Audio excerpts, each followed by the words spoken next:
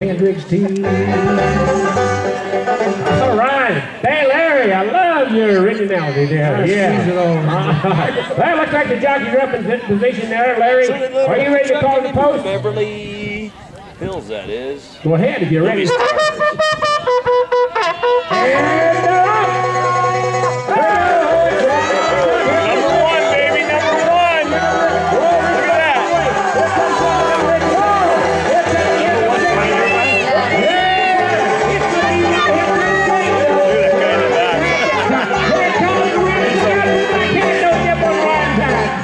All